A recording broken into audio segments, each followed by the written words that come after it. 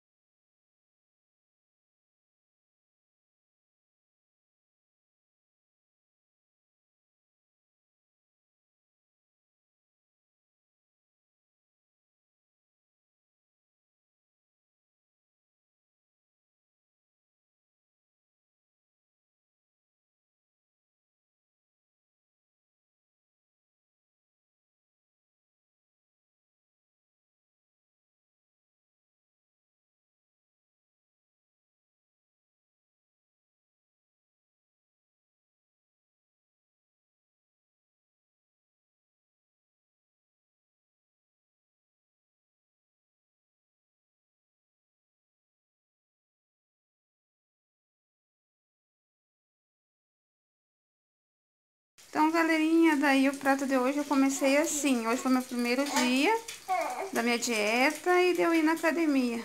É alface, batata cozida no vapor, feijão, um bife e um arroz integral, tá bom? Daí já dou continuidade nesse vídeo, mano, e daqui a pouco pra vocês, tá bom? Ó o tantão, mas eu vou diminuir, calma lá, é devagar. Então, galerinha do meu canal, tô aqui com vocês com meu minha refeiçãozinha após o almoço. Agora são exatamente 16 e 11. Tô participando aqui de algumas lives dos amigos, por isso que eu não tô lá na mesa. Tô aqui no, no meu quarto, o lugar que eu mais gosto de ficar. Ambiente mais tranquilo pra mim. Então aqui eu tenho 12 bolachinhas integral, sementinha de gergelim. Tenho esse chá de sabor limão, sem açúcar, sem nada, só chá amargo mesmo. E, e essas bolachinhas que vocês estão vendo aqui. Então, eu tô aqui no meu quarto e essa vai ser... Ah, ah, daí no caso de manhã, eu preciso gravar pra vocês, mas eu vou mostrar. Eu tomei só um copo daquele shake que vocês viram o vídeo anterior. Quem não viu, eu vou deixar aqui nos cards, tá bom? E de manhã foi aquele copo só que eu tomei antes de ir pra academia, ok, gente? Então, mais tarde eu volto pra vocês mostrando aí o que eu vou comer mais à noite, ok? Então, galerinha, pra finalizar esse vídeo vai ser assim, eu encerro com a minha janta, porém, meu plano futuramente é não jantar, não repare o local, eu tô aqui no meu quarto, na minha cama, que eu gosto de jantar aqui, não sei porquê. Então, eu fiz só um bifinho cebolado, a batata eu gosto de cozinhar ela no vapor, desse jeito com a casquinha, hoje eu fiz com a casquinha, um pouquinho só de feijão e esse arroz integral. Ele tá com uma aparência diferente, mas é porque eu fiz ele num jeitinho diferente, ok? O bife eu nem coloquei óleo, só tostei lá na, na fritadeira com a própria gordura dele que saiu. E de manhã ficou sem o café da manhã, mas no próximo vídeo eu vou mostrar pra vocês como que eu faço de manhã. Aqui tem bastante ainda, eu sei, mas é tudo devagarzinho, tudo aos poucos. Não, eu só, só tirei de mim definitivamente só as guloseimas, que eu comia muito chocolate, salgadinho, pão, é, até coxinha, essas coisinhas, eu não tô pegando mais nada, não comi mais nada. É só o que vocês viram hoje durante o dia. E o café eu, eu também diminui bastante. Chegou até a me dar dor de cabeça por causa da falta de café hoje. Eu tomei só um golinho de manhã e acho que do, dois golinhos hoje durante a live. Mas foi só de café que eu tomei também. E um chazinho que vocês viram aí no vídeo, né? Então, se estão gostando, querem acompanhar, deixa o joinha, comenta aí. Beijos e fui. Até amanhã.